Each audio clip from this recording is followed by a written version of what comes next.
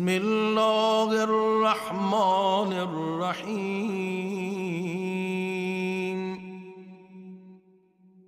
اللهم حبب إلي فيه الإحسان.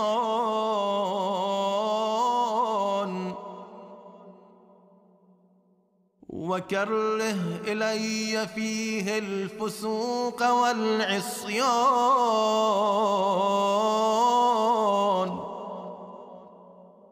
وحرم علي فيه السخط والنيران.